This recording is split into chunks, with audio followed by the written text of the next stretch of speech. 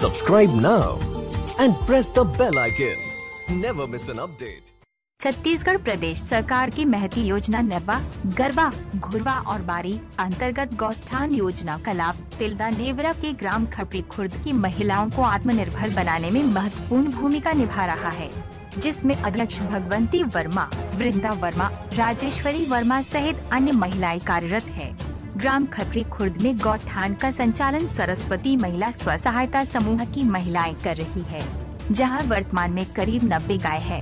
गौवंश के रहने के लिए समूह द्वारा सभी तरह के इंतज़ाम किए गए हैं। साथ ही गायों का देखभाल भी अच्छे से किया जा रहा है।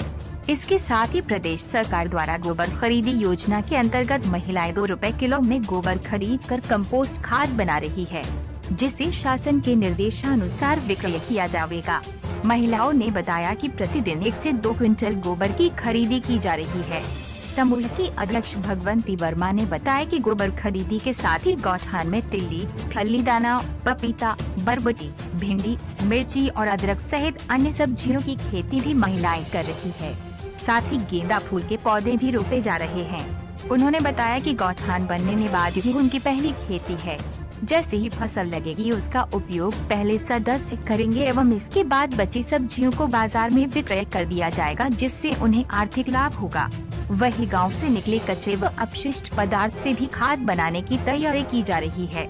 गौठान का संचालन कर रही महिलाओं ने बताया कि इसके पूर्व वे या तो खेती किसानी करती थी या घर में ही रहती थी, इस योजना से सभी को रोज़गार का साधन मिल पाया है।